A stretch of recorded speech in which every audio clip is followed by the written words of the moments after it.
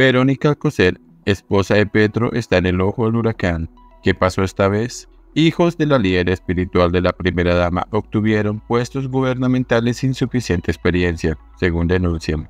La primera dama de Colombia, Verónica Alcocer, generó controversia en las redes sociales debido a sus recientes declaraciones sobre sus creencias religiosas.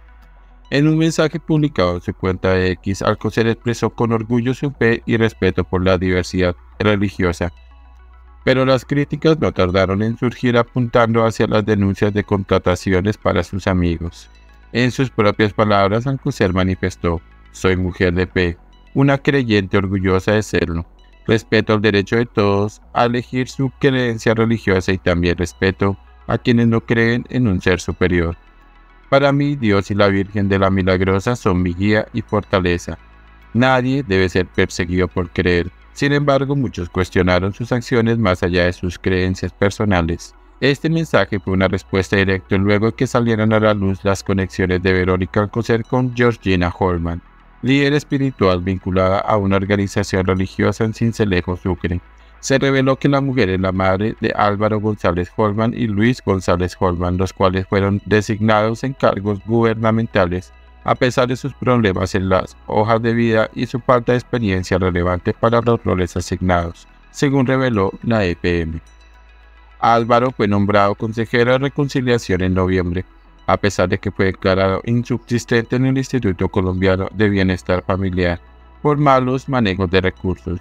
Aunque Petro inicialmente ordenó su destitución, la influencia de Georgina sobre Verónica prevaleció según la denuncia, y Álvaro González fue ubicado en la Casa de Nariño como consejero presidencial de reconciliación. Por otro lado, Luis González fue designado director de ProColombia en Barranquilla, la organización encargada de promover el turismo y la inversión extranjera en el país, a pesar de que cuenta con problemas en su estudio de seguridad. Otra contratación relacionada con ProColombia es Artesanía de Colombia, actualmente liderado por Adriana Mejía, que también es señalada por ser una amiga cercana de la primera dama. Estos nombramientos generaron comparaciones con otras situaciones de nepotismo en el gobierno. Un video publicado por Informate Más, un medio de comunicación del Frente Nororiental de Guerra en febrero del 2023, destacó las denuncias de nepotismo en los nombramientos de Concha Baracaldo y Eva Ferrer. La publicación en Facebook que vincula al Ejército Nacional de Liberación ELN con críticas a Gustavo Petro y su esposa había alcanzado más de 50.000 visualizaciones. Señalaron que el nombramiento de Eva Ferrer como consejera presidencial para la reconciliación nacional. Ferrer, amiga cercana de Alcocer y española de nacimiento, fue asesora de imagen durante la campaña presidencial de Petro. Su nacionalización expresa sin cumplir el requisito de residir en Colombia durante dos años también llamó la atención.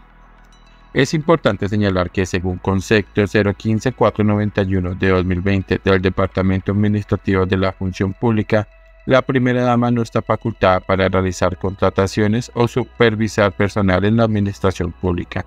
El papel que cumple la primera dama es meramente particular frente a la administración pública. Con ello no está facultada para realizar algún tipo de contratación, supervisión o manejo de personal, ya que como se dispuso en la jurisprudencia citada, en su calidad de cónyuge del alcalde de un municipio por acompañarlo en el desempeño de tareas protocolarias o tener iniciativa en materia de asistencia social, en labores de beneficencia pública o en actividades análogas, dice el concepto. Estas denuncias llevaron a que los internautas sugirieran que Verónica Alcocer use su posición como esposa del presidente para favorecer a amigos, y conocidos con contratos gubernamentales. Excelente que no sea religiosa. Nadie le está criticando eso. Aquí lo que estamos criticando es ese nepotismo descarado. No robar es uno de los pecados capitales. Creo que nadie te persigue por tus creencias. Son muy respetables.